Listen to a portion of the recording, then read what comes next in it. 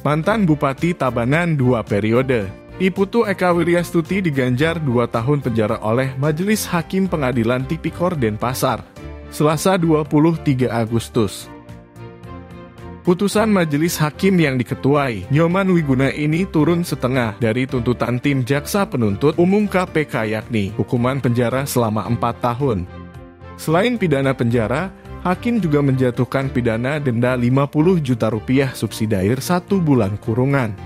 Pidana denda yang dijatuhkan hakim juga lebih rendah dari permintaan JPU, yakni sebesar 110 juta rupiah. Terkait tuntutan pencabutan hak politik terdakwa, majelis hakim tidak mengabulkannya.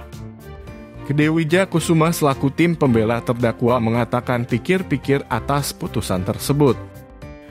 Namun Eka Wiryastuti menyatakan bersyukur atas putusan yang dibacakan hakim karena hukuman yang dia terima diringankan.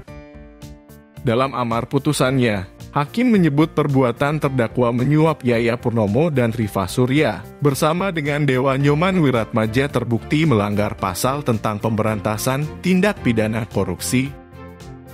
Selain mengakibatkan kerugian negara, perbuatan terdakwa dinilai tak mendukung program pemerintah dalam rangka penyelenggaraan negara yang bersih, bebas dari korupsi, kolusi, dan nepotisme Kemudian terdakwa tidak mengakui perbuatan saat dihadirkan di muka persidangan.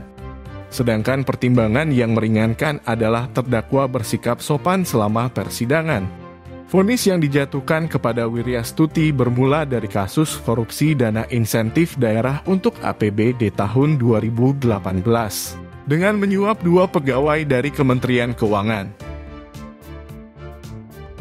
Tim Bali Express melaporkan